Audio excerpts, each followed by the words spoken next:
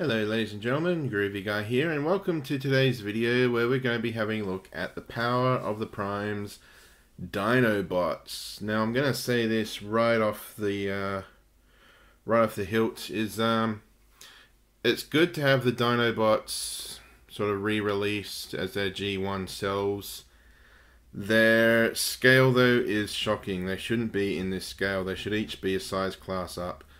Uh, so let's have a quick introduction. We've got, I'm going to be, this is Slug, but I'm going to call, be calling him Slag or Slug. I might slip every now and again. We've got Swoop, Slag, Grimlock, Sludge, Snarl, and Slash. Uh, Slash is a female, uh, I believe. Um, she doesn't really have an official uh, integration into the combined mode of Volcanicus. Um, so I'm not going to be using her when I do the combined mode. Uh, she's pretty cool though. A nice little Velociraptor inspired look. Since we keep learning as to how dinosaurs actually look, this she's missing her feathers, so it's not really that accurate, I suppose. Uh, have a look at Swoop. Uh, swoop, you can extend the wings out. I just had them compacted so it would fit into the uh, opening shot. There's his little uh, fist for combined mode. It's got the sword that stores here, but you can just pop that off, leave it to the side, so you can you can pop his head down like that, and you can sort of have his little knee swoop, and you can sort of hunch over like that. Pretty cool uh, alt mode. Nice little pterodactyl. Pterodactyl. Uh, having a look at slag now. Nice little uh, Triceratops. Little cutie pie. Like I said, these guys are just way too small. They should at least be uh, Voyager and Grimlock should have been a leader, but there you go. It is what it is, to be sure, to be sure. Pretty small. Um, the plastic on all these guys feels a bit, I don't know, not cheap, but it kind of does feel like a little brittle, but it's not really because, I mean, you can just pretty much squeeze it as hard as you can and it probably won't break. Probably won't break, it might, so don't try it. Uh, for Slag, you can pop his head out a bit if you wish because it is sort of wedged in there quite well. So what you do is you pop it out and then you can leave it and then you get him a bit of head uh, posability. Rawr, rawr. So he doesn't look like all he's he's all flat and squat and bent up. Put that down. There you go. Uh, let's go to Snarl. Snarl is weird. His dino mode, dino mode hind legs are on an angle like that, which is pretty cool. Um, it does doesn't really hinder anything. It just for some reason, to me, it looks a bit weird, but I think that's because that's where the robot mode fists are. They've got to be curved back a bit.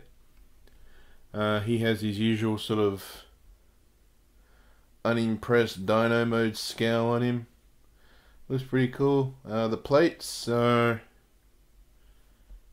Hmm.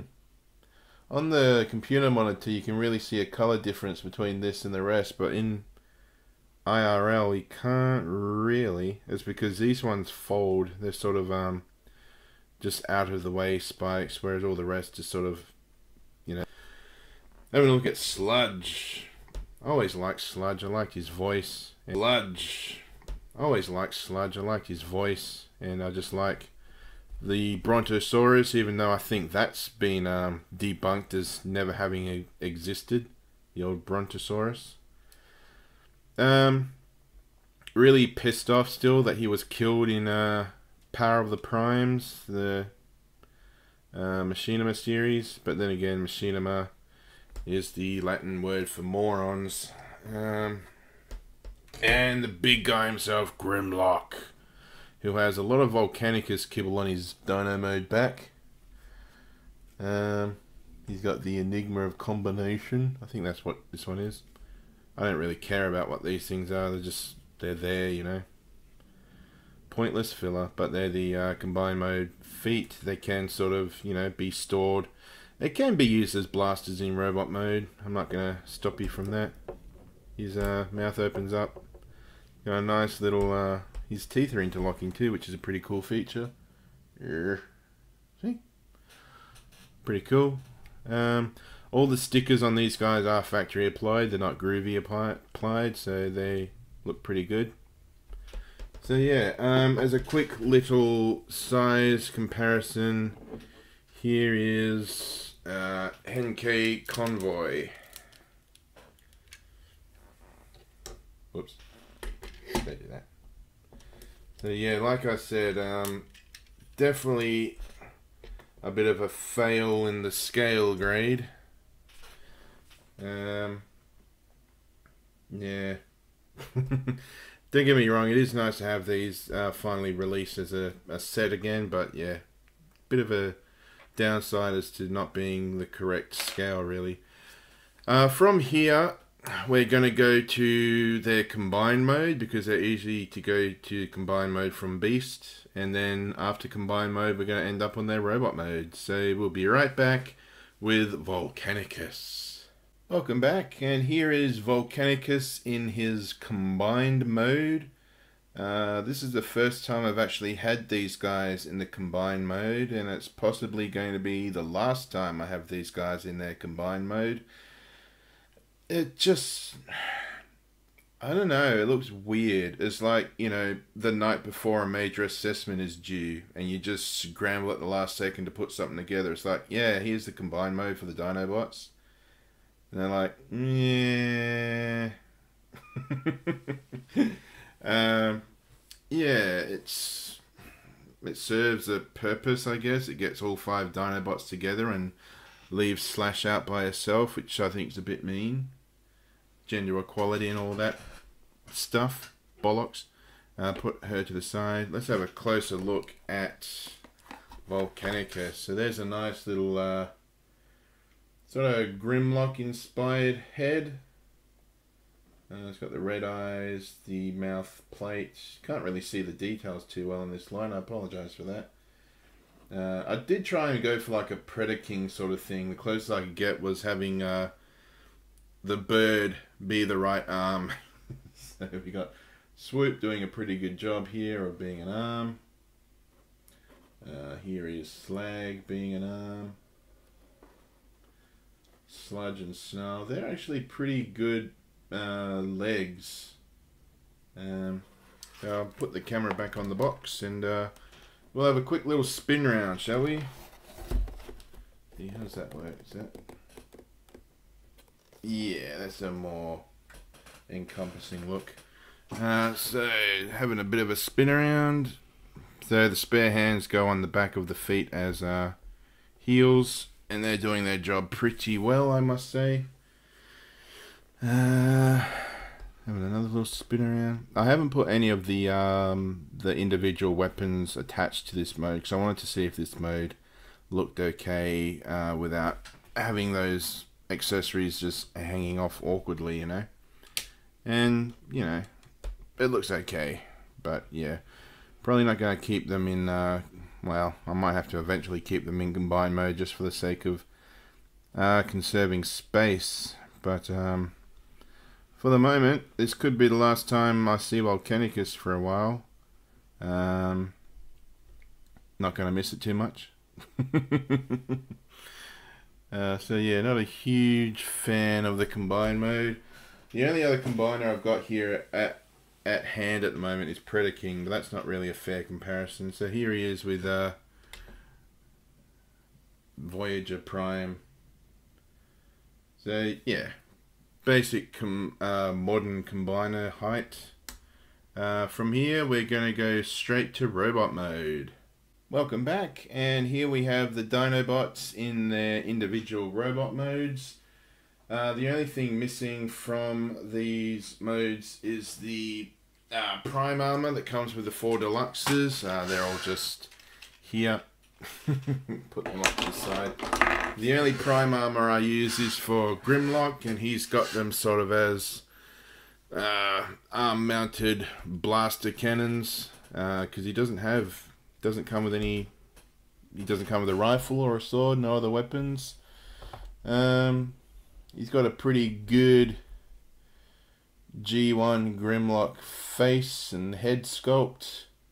Uh, red eyes instead of blue, but that's okay. Uh, homages the toy. Um, yeah, pretty solid robot mode. Um, it's very reminiscent of his G1 toy with all the T-Rex parts folded around the back. Um, all these guys pretty much mimic their G1 toy design, just uh, tuned up a bit to incorporate the combine mode, obviously, and I think it's a bit more cartoon accurate as well. Uh, here we have Swoop. Uh, Swoop comes with a sword, so the four Dinobots, two come with swords, two come with guns, and that's pretty much it. Uh, they can have, you know, guns and blasters and such with their prime armor, but I'm choosing not to use them. Uh, there's Swoop. He's got a nice little smile on his face, blue eyes. Look at his back. Nice wingspan. The wingspan, as usual, you choose your own adventure as to how you want them displayed. Uh, so yeah, I really like the look of Swoop. He looks like the friendlier Dinobot, which is usually how he's portrayed in the uh, in the show that he's on. Here is Slag, comes with a rifle. Nice face sculpt, but I don't think we'll be able to get a particularly close look at it because it's um mostly molded in black plastic with the red eyes. Um, the eyes obviously stand out quite well. Whoops. Yeah, you can kind of see his mouth. But yeah, he looks like a pretty... These, don't get me wrong, these figures are awesome. They look great. But it's just the scale that really gets to me, really grinds my gears. Here is Slash. Uh, she looks pretty cool. If I can get her into focus, it seems to... She's so small she can't even get into focus. But uh, yeah, pretty. Um, she can incorporate a Prime Master, but we're going to be having a look at that when we look at Cindersaur. Uh, so yeah, she's pretty cool. She doesn't come with any accessories or anything. Here is Sludge. He's got a hole in his chest. Uh, that's again to incorporate Prime Armor, but again, not incorporating Prime Armor because Prime Armor is stupid. Um, Second one with a gun. The gun molds are identical. Uh, the swords are separate, different molds. Um, ugh. These elbow joints are really stiff. Um, yeah. Again, awesome toy design. I think I might have this around the wrong. Uh, maybe not. So yeah, he looks kind of odd in with the other Dinobots because he's got like a his head is his tallest feature, whereas the other ones sort of have either something around the head or something on top of the head. Sludge is just like, hmm, got nice yellow eyes. There we go. So yeah, again, cool looking toy. Uh, just a bit small. Then again, they had did have to meet a quota, I guess. Here is Snarl. He's got a transparent sword. So, uh, good luck if that falls on the floor. um, really nice robot mode with the uh, spine frame uh, on the back. These are the little flippy plates I was talking about. I think it's just so he doesn't have a huge backpack when he's in his robot mode. So they just fold down like that. There you go. Dino head there. And uh, yeah, that is Power of the Primes Dinobots. That's this one's been about six months in the making because I've been waiting for. I've had these four for quite a while. These two only arrived last week. Snarl and Sludge, they arrived last week, so I ended up having to buy them online because uh, Australian retail doesn't really seem to be getting uh, Power of the Primes in. It's mostly that Studio Series bollocks. So had to order these guys online. So shame on you, Hasbro, for I was going to say making me spend my money overseas, but Hasbro's overseas anyway, aren't they? Eh. Anyway, there's Power of the Primes Dinobots. Um, should you get them? Hmm. I might cop a bit of flack for what I'm about to say, but you can buy knockoffs of the G1 Dinobots pretty cheap on online sources, and uh, I perhaps suggest them. Um, that's just for the G1 kick. Uh, screen accuracy, maybe these guys. Definitely not for scale, because again, this is Voyager Prime. And if he was my Classics Prime, then even then it'd still be a bit small. But I've got Power of the Primes, Optimus Prime is my Optimus Prime, and Grimlock and Optimus really should be shoulder to shoulder. Um, so this is sort of like if you, if you can picture the Dinobots sort of downgraded their size to have a maybe a speedier design, speedier combination sequence. Um, maybe then grab them, but I mean, if you're a fan of the Power of the Primes gimmick, um, then maybe get them. Uh, this is probably the lowest um, recommendation I've had for should you go out and get this particular figure that I'm reviewing. Um, yeah, if you like the idea of you know the Beast or Volcanicus, and definitely get them. Um, I don't think we're going to be getting any more Masterpiece Dinobots. I think Grimlock and you know actual Beast Wars Dinobot are the only two Masterpiece Dinobots we'll be getting. I don't think we'll be seeing these other four, specifically not that fifth one, as a Masterpiece. Uh, so yeah, screen accuracy for the toys, for the G1 cartoon, definitely. Scale, heck no. Um, like I said, you can easily, you can probably still find um, knockoff G1 Dinobots if you can't find the original G1 Dinobots in a suitable price range. So yeah, there's Power of the Primes Dinobots. Thank you very much for watching. I hope you found it informative. I hope I hope you found it helpful as to you know whether or not you want to pick up these pieces for yourself. Coming up next, um, I'm not too sure, but I look forward to bringing it to you, and I look forward to seeing you next time. Bye now.